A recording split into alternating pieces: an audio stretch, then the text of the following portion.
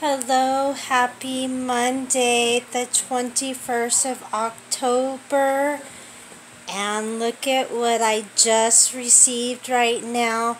My very first Magic at Your Door. And this is the Halloween box. And look at Dude. Look how cute he is. Decorated all for Halloween.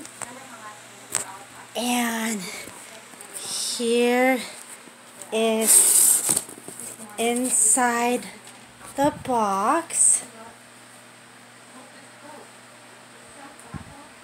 I am so excited.